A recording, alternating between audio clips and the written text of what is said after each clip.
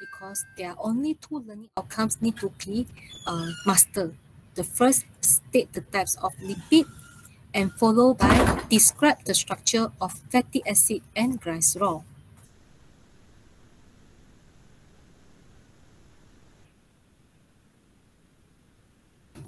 So we move on to the first slide. Even though the definition and the characteristic is not uh, in our syllabus nowadays, yeah, but we still have to introduce you what is lipid actually. This is because uh, it's, it can help you to cover the whole topic one easily. So if you go through or revise back what we have learned last week, right? Uh, molecules of life, we can basically divide it into two groups. The first group is inorganic molecules. And the, the only molecules representing the inorganic molecules is water because the elements of one water is consists of two hydrogen atoms and one oxygen atoms, whereas no carbon found. That's why they are inorganic molecules. However, our, our topic one, right? There are a few organic molecules because these all molecules they consist of hydrogen, oxygen, and also the carbon. Okay, so from the organic molecules, it can be further divided into two, polymer and non-polymer. Okay, why we say so is because you will notice last week we studied about carbohydrates.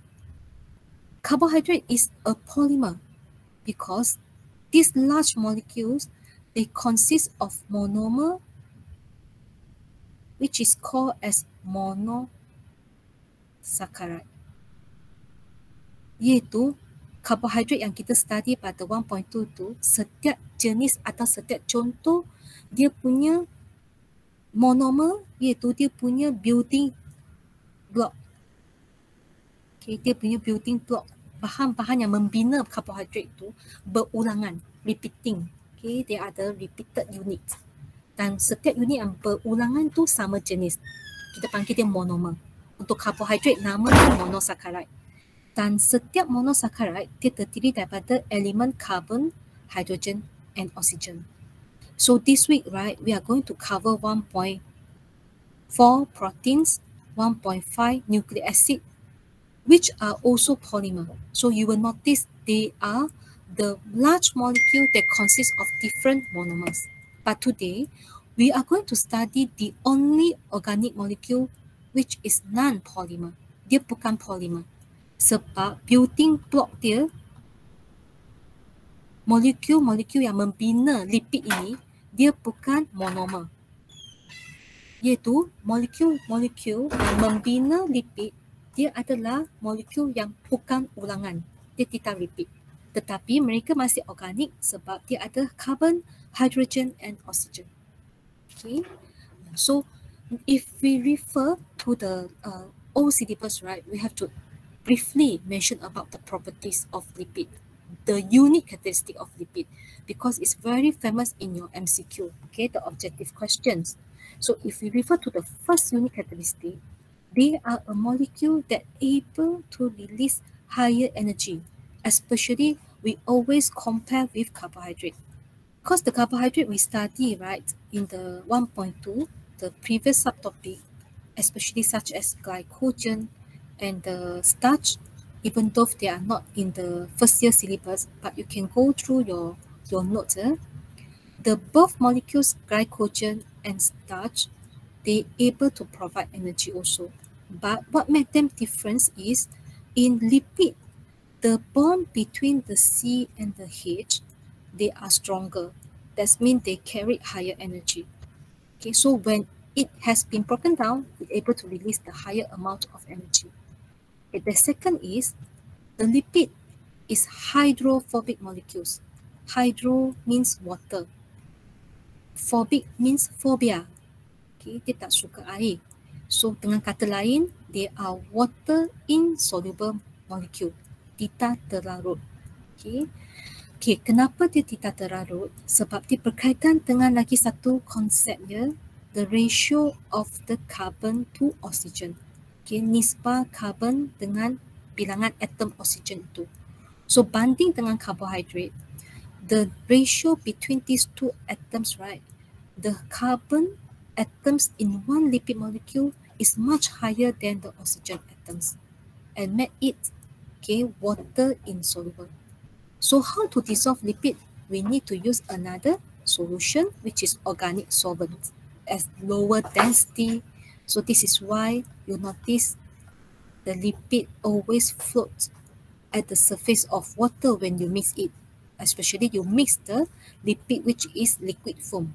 Okay, so the third characteristic is lower density. Ketumpatan banding dengan air yang masih dalam keadaan cecair. So it's quite related with what we learned uh, previous subtopic maximum density at 4 degrees Celsius of water. That's why air selalunya lebih tumpat kalau banding dengan kebanyakan uh, liquid di uh, permukaan bumi. The next is high viscosity. Kelikatan dia lebih tinggi. Uh, it, the size of molecule in the lipid is much larger than water, which is only H2O. Disebabkan molekul dia lebih besar, maka dia punya sliding between each other is lower. Okay, uh, dia nak berkelongsok antara sama satu sama lain sangat perlahan. Okay, the last is greasy. Greasy maksudnya bila kita sentuh dengan tangan, kita rasa it dengan uh, sensory organ, kita rasa dia macam licin, macam sabun, uh, detergent, pencuci uh, mangkuk ke, okay. Uh, dia rasa licin. Itu greasy nama dia. Okay, now we look at the first learning outcome. Student must be able to state three types of lipid. State so the spelling is very important. Okay, nowadays we have to focus on the first type, which is triglyceride. But triglyceride itself have two types. Ada dua jenis lagi bawah triglyceride. Satu ialah bentuk semasa dia solid. Satu ialah semasa dia liquid. Tetapi untuk uh, status of matter yang berbeza ini, nama dia berbeza. Triglyceride yang semasa liquid apakah nama dia yang tadi you all ada kata mula dengan O oil ya yeah. Oil. oil Oh. so dengan kata lain oil is a type of triglyceride how about the solid triglyceride Butter. Butter oh pa- butter adalah example ya yeah, saya, saya, saya sudah dengar jawapan butter adalah example tapi actually the proper term is fat okay fat is the solid form of triglyceride. Example dia adalah butter atau margarine. Okay? So dua-duanya kalau bahasa Melayu lemak nama dia. Hanya status of metal berbeza.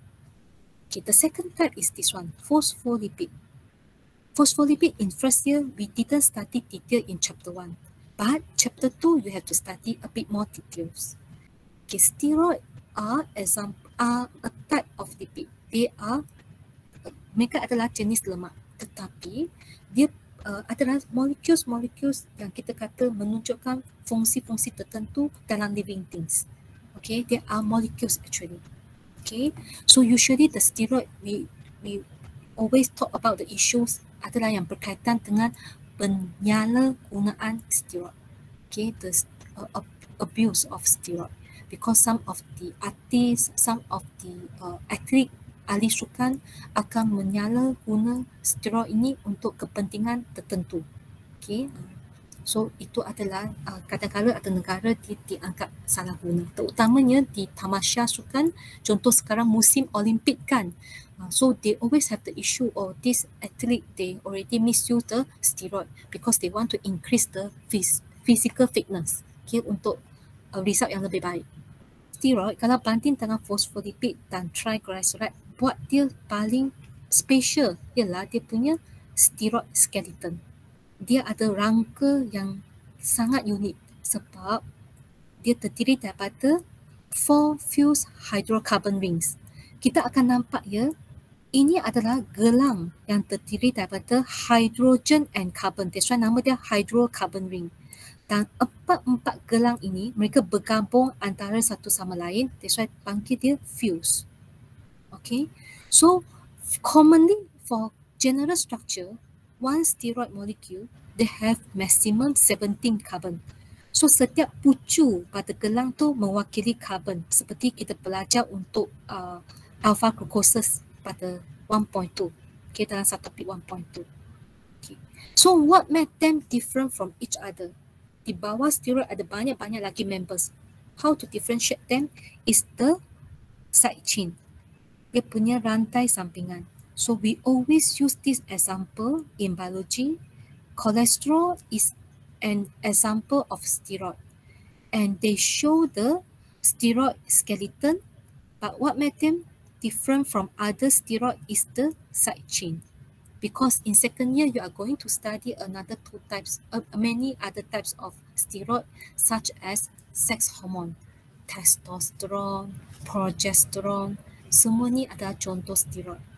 So testosterone adalah sejenis hormon yang bila kita uh, suntikkan, kadang-kadang untuk tujuan sukan atau untuk tujuan tertentu, kita ada suntikan testo testosterone dia boleh meningkatkan kita punya performance dari segi sukan. Okay, this is what I say just now, penyalahgunaan steroid. Okay. okay, now I move on to the second type here, phospholipid.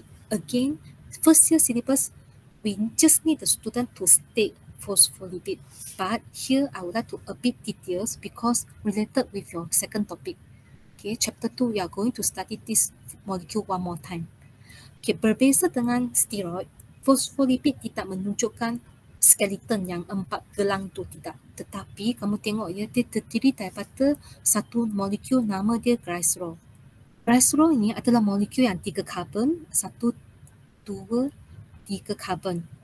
Dan molekul ini akan memegang atau terikat dengan dua uh, two fatty acid chain. So this is one fatty acid chain. Okay, this is one. This is the second one okay, dua fatty acid chain. Dua-duanya adalah rantai uh, asid lemak. Apa yang berbezanya nanti kita akan study apa yang buat mereka berbeza ialah ketutukan double bond itu. Okay. Some of the carbon they have the double bond between it. Okay. The next is this uh, glycerol, the first and second carbon attached to the fatty acid chain. But the third carbon will be attached to a phosphate group, satu phosphate group. And this phosphate group, okay, yang di sini PO4 minus ini, this phosphate group, they will carry one R group. R dalam biologi dia ada maknanya berbeza-beza. So different phospholipid have different R groups. Okay, so R group adalah berbeza mengikut jenis-jenis phospholipid tu.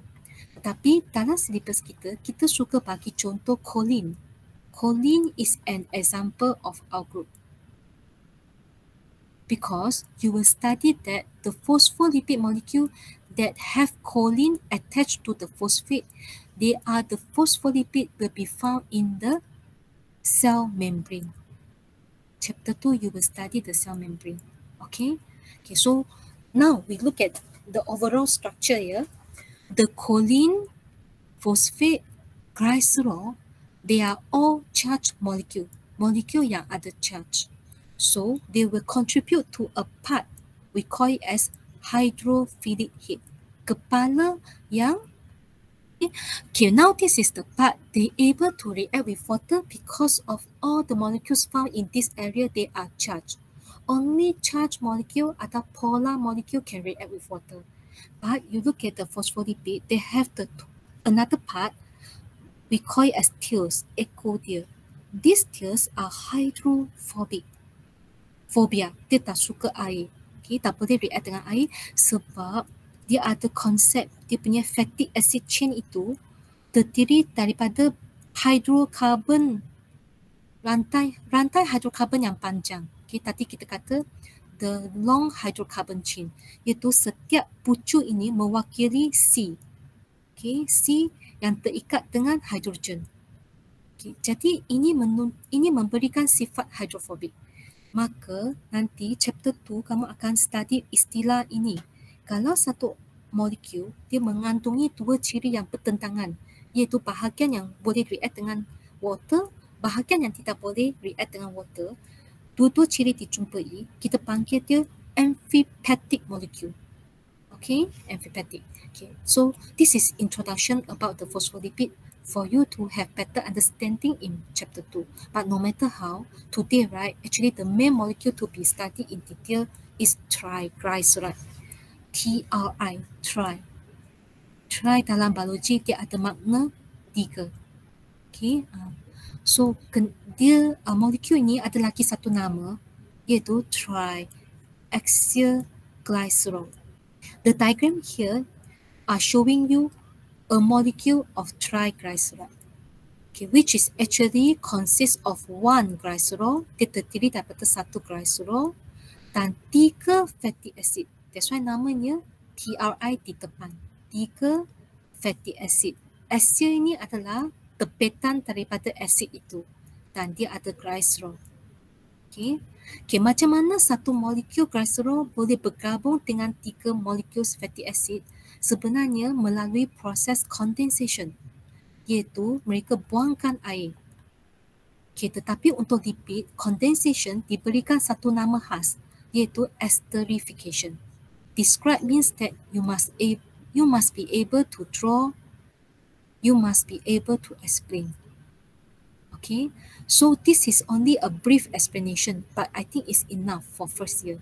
First of all, student must always remember glycerol is an alcohol and this is an alcohol with three carbon.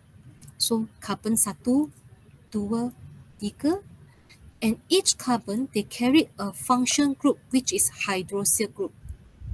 Okay, so we have three hydroxyl group in one glycerol, and each carbon able to form maximum four bonds. So bond pertama, kedua, tiga, empat. Okay, maka ikatan lain kan akan memegang H. Okay, so you look at this carbon one and carbon two. Okay, now one first bond, second bond, third and fourth. So it carry H. Okay, ah, itulah kita punya glycerol structure. This is why we have the chemical formula C3H8O3. Now we look at fatty acid. Fatty acid, the general formula is RCOOH because it's an acid. Kalau dia acid, dia mesti ada function group. Kita panggil dia carboxyl group. So this is the C double bond O OH. Okay, so if you study this part, right, you will notice they have the bond the C uh, have the bond one, two, three, four. Okay, the bond here will be attached to a R. Why is a R? Because different fatty acid have different R group. I mean the alkyl group. Alkyl maksudnya kumpulan uh, function in function group ini dia terdiri daripada carbon dan hidrogen sahaja. So untuk fatty acid dia sebenarnya menunjukkan rantai hydrocarbon itu. Okay, so this is the long hydrocarbon chain which is represented by the R. So in exam you don't need to memorize. Okay, you don't need to memorize the example, but this is important how to draw the RCOOH as I shown here. And our group, yeah, the long hydrocarbon chain actually is the part yeah, make the whole fatty acid a molecule which is non-polar and hydrophobic.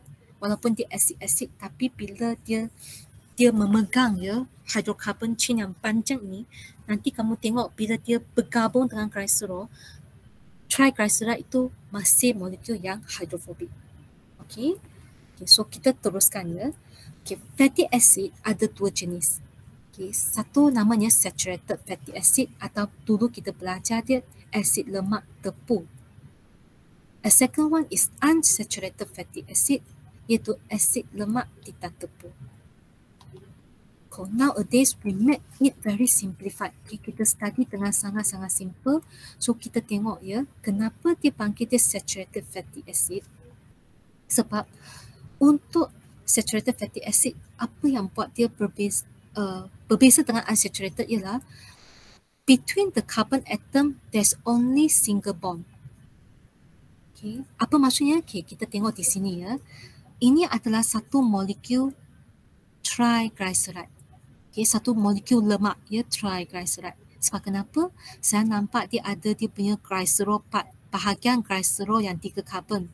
Tetapi setiap okay, setiap OH group dia telah terikat dengan satu fatty acid sebab saya nampak bayang C double bond O ini.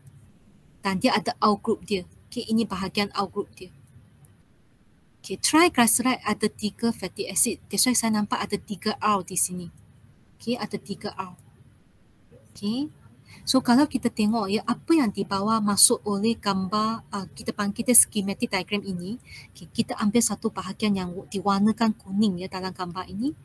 Okay, ingat ya zigzag line ini, zigzag line ini maksudnya hydrocarbon chain yang panjang.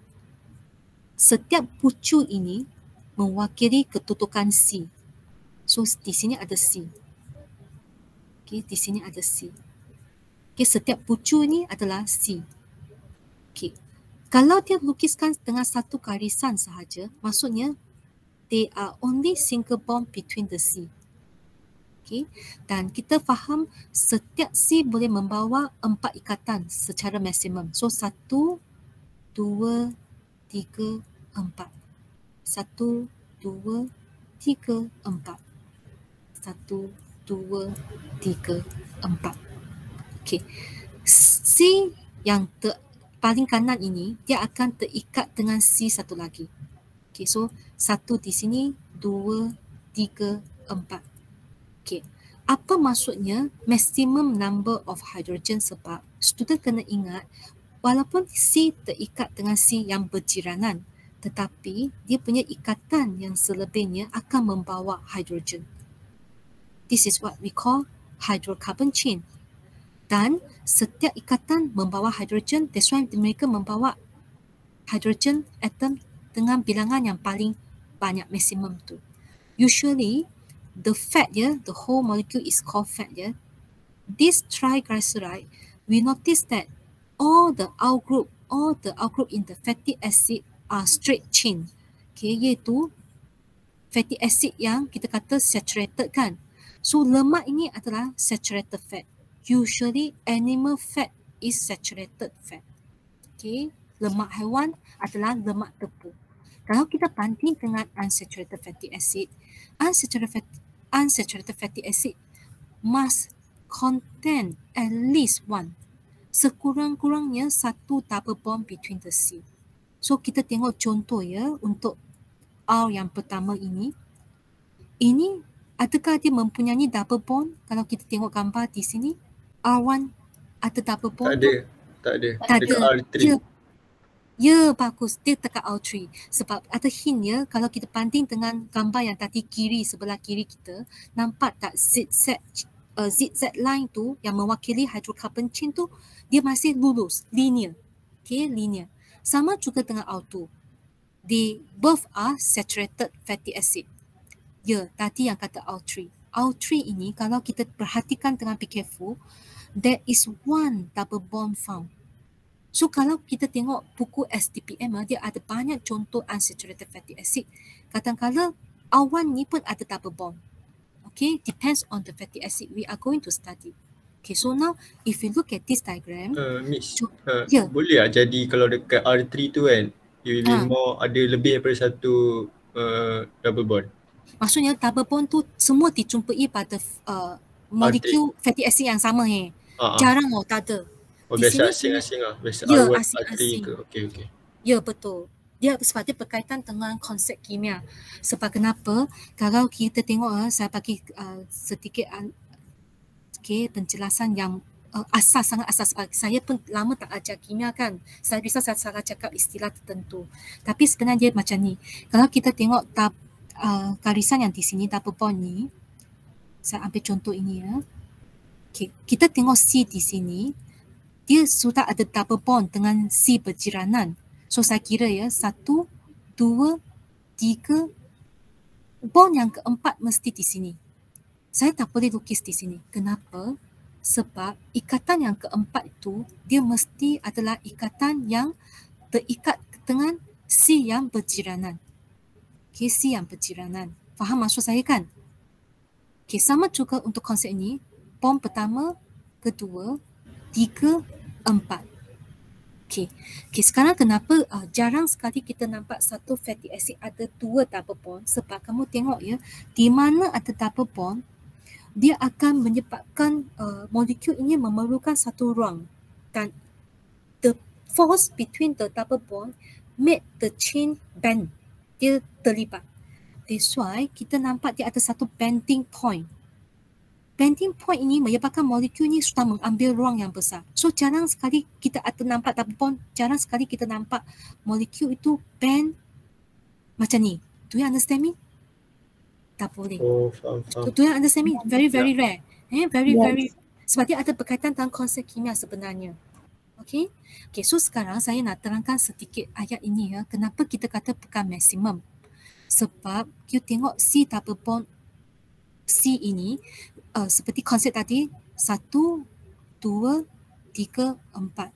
Okay, so sekali lagi satu, dua, tiga, empat. Sebab dia mesti memegang dengan C yang seterusnya. So saya tak boleh lukis yang keempat menghadap ke bawah. Okay, di mana ada ikatan yang tidak memegang kepada C, selalunya membawa H. Okay, membawa H. Tapi kalau kamu betul-betul kira kan, seolah-olah dia sudah tidak mencapai bilangan H yang maksimum seperti saturated fatty acid tadi. Sebab saturated fatty acid tadi kamu banding dia sudah ada 2H lebih daripada yang ada double bond. Do you understand me? Yang konsep ini? Yes. Boleh ya? Yes. Okay, good. Okay, so sekarang kita tengok ya. Kalaulah lemak ini, triglyceride ini, dia membawa dia, dia membawa salah satu fatty acidnya ada double bond. As I say, sebenarnya berkaitan dengan uh, forces in the double bond itu, it cause this molecule bend to show the bending. Bila ada bending, you imagine uh, in this uh, fat, the molecule, each triglyceride molecule, they are not arranged orderly. Susunan dia sudah tidak teratur sebab mereka mengambil ruang. Okay, macam saya, saya angkat kaki I kan, saya macam sudah ambil ruang orang. Jadi dia tak susun dengan teratur. Itu yang menyebabkan molekul itu tidak menunjukkan arrangement yang yang close. That's why we have the fat which is in oil dalam keadaan liquid. So usually the plant fat or fish, setengah fish punya terutamanya yang kita panggil dia cod oil itu adalah unsaturated fat, lemak yang tidak tepu sebab they contains unsaturated fatty acid. Jadi kalau macam ni saya nak tunjuk contoh KO faham bila kalau dia keluar dalam SM kita hanya nak student boleh manfaatkan tak knowledge saturated dan unsaturated itu sahaja.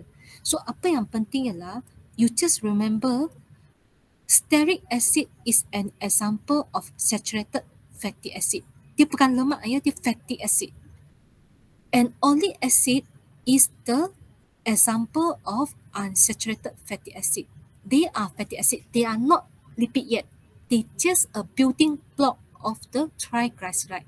Dia adalah bahan membina lemak. Okay? Okay, sebenarnya apa yang berbeza antara stearic acid dan oleic acid?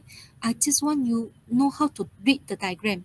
You see, since that they are acid, they must have the function group called as carboxyl group, COOH. But if you calculate the, their hydrocarbon chain, kalau kita mengi, menghitung dia punya R group, okay, kalau kita kira R group dia, sebenarnya dua-duanya membawa C17. Okay, dua-duanya membawa carbon 17. Tapi kamu kena ingat, ini setiap carbon itu dia terikat dengan single bond. That's why dia penuh dengan hydrogen. Okay, penuh dengan hydrogen. Tetapi untuk oleic acid at certain point, the C has one double bond. Okay, double bond muncul sekali, maka menyebabkan dia ada satu keadaan tidak membawa hydrogen atom yang maksimum. Dan ini kalau kita uh, study dengan software tertentu bahawa uh, chemistry lab, we notice that this molecule they show us a bending point. Bending point tu dalam kimia kita panggil dia kin. Okay, this is why they prevent it to become solidified.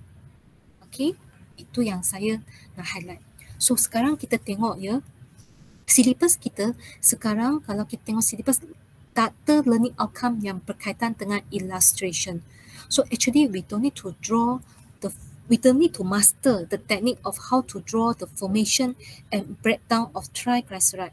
But I, I just briefly show you because you still have to know the structure of glycerol and fatty acid. So let's get untuk menghasilkan triglyceride, selalu ingat dia adalah organic molecule yang non-polymer. Sebab kita study dia punya building block tidak ada perulangan dia, dia tak ada ulangan. Kenapa kita cakap macam tu? Sebab dia terdiri daripada molekul yang macam ni. Ada tiga carbon. Apakah dia building block dia? Pertama, dia ada satu glycerol. Lepas tu, kita tahu setiap carbon mesti ada empat ikatan. So, satu di sini, dua, tiga, empat. So, untuk C kedua, dia sudah ada tiga. So, saya tambah lagi satu garisan. Untuk C ketiga, saya tambah lagi satu garisan. So, saya lengkapkan diagram ini dengan H. So you must be able to draw the glycerol. Okay, and we must be able to draw fatty acid. Tapi as I say, we don't need to draw the, the typical example. We just draw the general structure. So, fatty acid, dia punya formula ialah dia mesti ada function group. Nama dia COOH. Okay, carboxyl group. So, C double bond dengan O then single bond OH dia dan satu, dua, tiga, sudah tiga ikatan, dia ada ikatan keempat di mana membawa R. Okay, dan triglyceride, dia ada pendipatan tiga fatty acid. So, saya ulang sahaja lukisan fatty acid itu. Okay, saya ulang lukisan itu. Okay, jadi melibatkan tiga fatty acid. Okay, so macam mana uh, tadi kita punya teori kata student must be able to describe okay, the structure and then must be able to describe the process. So tadi saya sudah kata untuk menghasilkan triglyceride molekul yang lebih besar, proses yang terlibat adalah condensation iaitu membuangkan satu air. Okay, so di sini kita akan nampak pembuangan air dia akan melibatkan H daripada hydroxyl group of the glycerol. Okay, kita kali ini berbeza dengan maltose ialah kita punya H2O itu H datang daripada OH of the glycerol. Tetapi OH mesti datang daripada carboxyl group. Maksud saya lah kita tidak membenarkan student lukis macam ni walaupun masih ada earthy H2O. Okay, tak mungkin sebab ikut konsep kimia sekali lagi ikatan ini, ikatan C dengan OH di sini adalah lemah daripada ikatan C dengan OH di sini. Jadi, untuk bahagian glycerol, H sahaja mudah di donate, dikeluarkan. Okay, tak boleh keluarkan the whole hydroxyl group. This is why we do we need to highlight here is if you are asked to choose the diagram, which one is the correct diagram of the removal of water. Manakah satu adalah pembuangan air kan? Selalu ingat untuk lipid dia berbeza sikit, lipid dia strict sikit. Kita punya air sebenarnya H2O itu H daripada hydroxyl but OH from the carboxyl. Okay, so saya ketiga-tiga kawasan yang melibatkan condensation saya kena label. Dan kita boleh bagi satu signal, eh sorry, satu tanda ini adalah air dikeluarkan. So label sekali saja. Okay. Tetapi saya perlu confirm dengan uh, senior-senior lain pen, lukisan untuk formation ni tak perlu menguasai tetapi lukisan untuk glycerol, fatty acid perlu. Hanya saya terangkan untuk kefahaman. Dan kamu tengok tadi nota ada kata untuk lipid, condensation dia diberikan nama khas iaitu esterification. Kenapa esterification? Because the product, the triglyceride, they contains a chemical bond we call it as okay, we call it as ester. Okay, saya lengkapkan ikatan dulu ya. Okay, kamu imagine sekarang C ini dia akan terikat kepada O. Kenapa O? Sebab masih ingat tak tadi H sahaja yang terlibat dalam condensation. Setiap C punya O masih ada.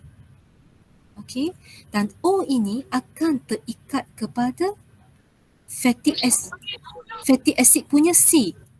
Sebab fatty acid punya carboxyl group OH telah terlibat dalam condensation. So, kita ada bahagian fatty acid yang dalam keadaan macam ni. So this is how we draw the triglyceride. Sebab daripada menghafalkan, lebih baik kita uh, faham konsep lebih senang. Sorry ya, ada kesilapan try. Okay, sebab dia tak boleh ada double bond di sana. Okay, sini tak boleh double bond ya. Okay, so kita teruskan.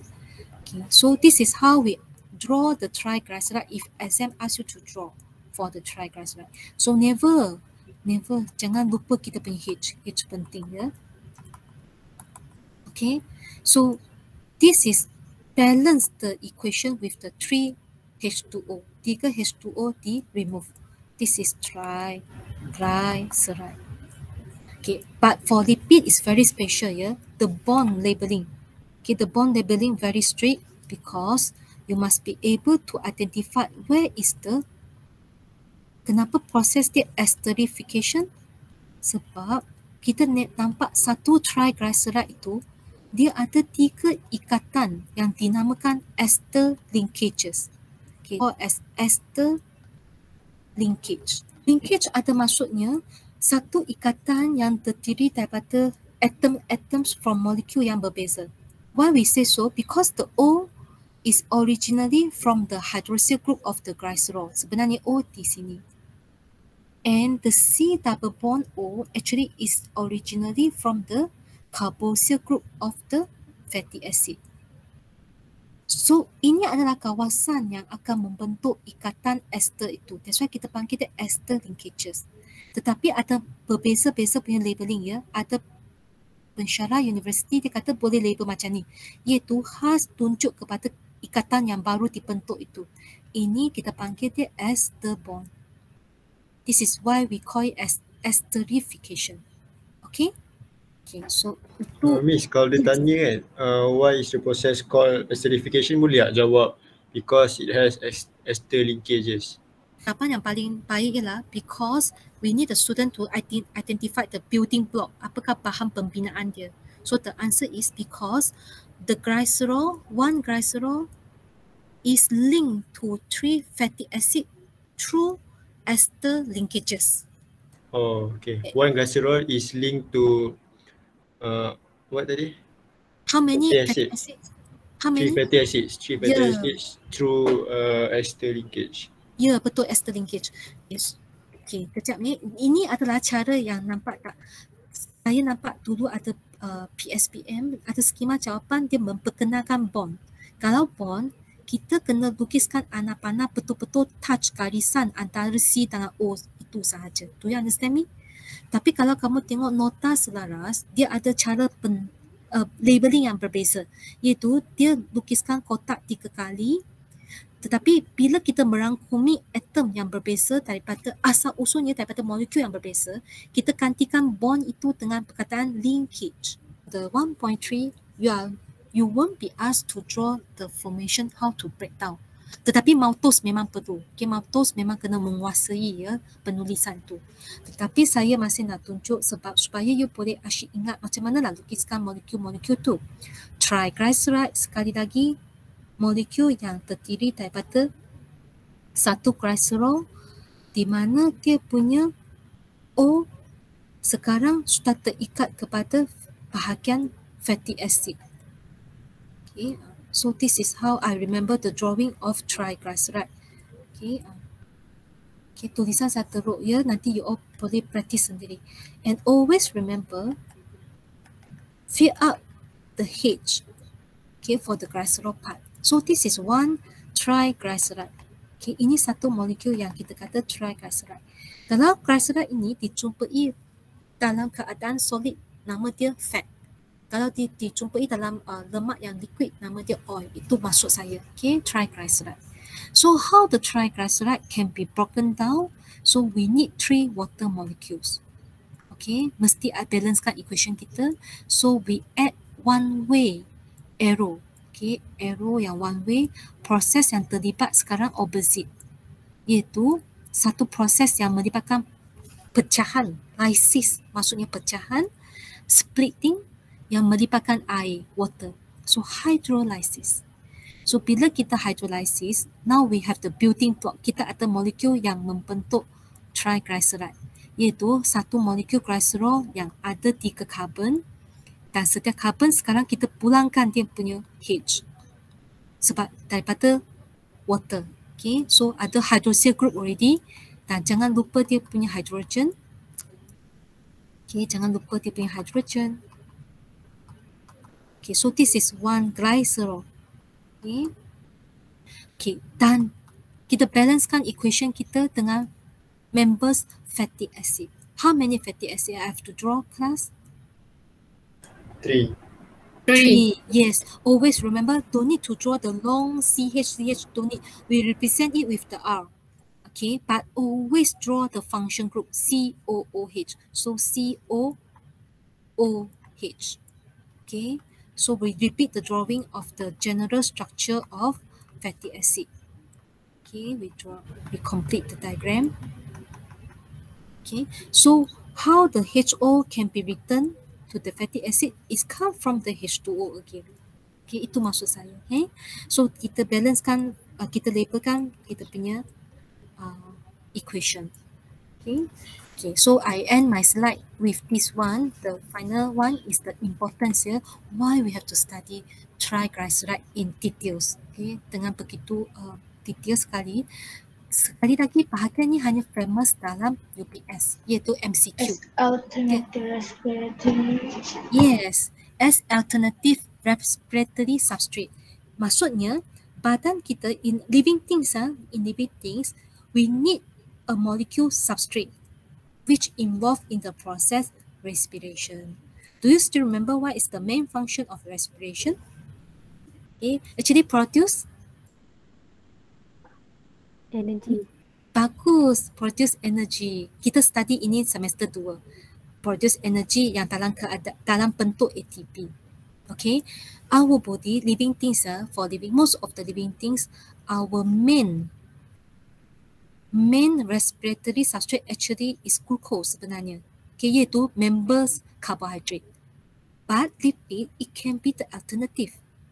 Lipid adalah sampingan atau pilihan yang kedua. Kenapa kita panggil the alternative? Because uh, in certain timing ya, that organism they may have not enough glucoses for the respiration process, but your body many activities need the ATP.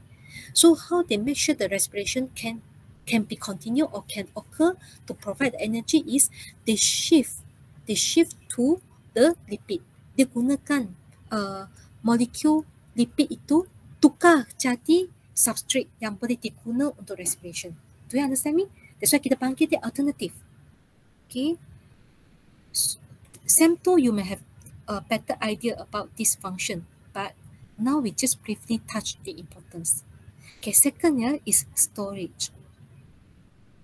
Not only the glycogen in animal, now I'm talking about animal, yeah. Uh, animal, the glycogen is the energy storage molecule. But not only that, we have the lipid, which is a molecule that contain higher energy than the carbohydrate. Why we always say they contain higher energy than the carbohydrate is again because the bond between the C and H. The bond between C and H in lipid is stronger than the same bond found in the carbohydrate. Sebab carbohydrate pun ada bond antara C dengan H itu. Tetapi bila banding, sini lebih kuat. Sebab kalau kita recall balik 1.2 kan, the carbohydrate monomers dia, okay, dia punya building block monomers dia adalah terdiri daripada monosaccharide yang dalam gelang structure. I mean the ring structure. So the C that carry the H, the bond usually uh, weaker, okay, lem- lemah. Okay, so they have less energy. The third one, uh, certain animals, yeah, they will metabolize the lipid to become H2O. So uh, camels, because their habitat is an arid environment, iaitu satu uh, environment yang kita kata musim kemarau dia sangat panjang. Okay, jadi akan suka untuk dapat water source. So how they make sure they can uh, they can prevent from dehydration, they will metabolize the lipid in their body part. Okay, the next is heat insulator. Uh, this one we can uh, related with ourselves. Beneath the skin ya, di bawah kulit kita sebenarnya ada satu lapisan lemak. Okay, uh, adipose tissue nama dia. Okay, adipose tissue. Okay, the adipose tissue consists of triglyceride molecules a lot. Okay, they they are poor in conducting heat. Dia lemah membawa heat. Dengan senang dengan kata lain maksudnya dia memerangkap haba dalam body kita. The purpose is to maintain normal body temperature especially when the environment temperature drop. Okay, kalau keadaan yang sangat sejuk, macam mana dia pastikan suhu badan tidak mengalami perubahan yang ekstrim untuk enzim-enzim itu boleh berfungsi seperti biasa supaya kita tak mengalami keadaan yang sangat bahaya tau. Uh, that's why they are the very good uh, heat insulator. Okay, the last one is this one here. They are a good protector to certain internal organs, especially the kidneys. Okay, we always use the example of mammals here. Mammals. So you can you can try to locate where's your kidney? How many kidneys you have? Tu Two. Where can where can you find your kidney? kat At the neck. belakang. Kat belakang mana? Dekat, dekat lambar. Betul tak? Betul. Atau kita kata uh, dekat dengan pinggang kita kan. So you can feel it now. Kadang-kadang kita rasa penat, kita feel it. Uh, that's very soft. Because why? Unlike the chest area. Tak sama seperti chest, kita ada tulang tau. Ada uh, the the ribs. Beneath, uh, behind at the dorsal part, bahagian belakang, dia adalah soft part at the kidney region. So, and this is the part always will face the risk of cheating. Dia selalu adalah kawasan yang selalu menghadapi risiko dilanggar tau. So macam mana nak absorb the the okay the the forces, the external forces pushing force itu kini dia disalaputi dengan lemak adipose tissue juga yang ber, berkeupayaan kita kata absorb okay absorb the force so they are a good cushion okay good cushion to the kidney so this is what I need to uh, close our slide today. So any question you want to ask before we we end the slot? Miss yang kidney tu kan kalau dia tanya soalan pasal like uh, explain how triglycerides uh, protect the internal organ boleh tak cakap act as cushion to absorb the shock. Okay, I prefer cushion tu adalah perkataan saya guna. Kalau boleh jangan gunalah kita absorb shock. Okay. It's very good. But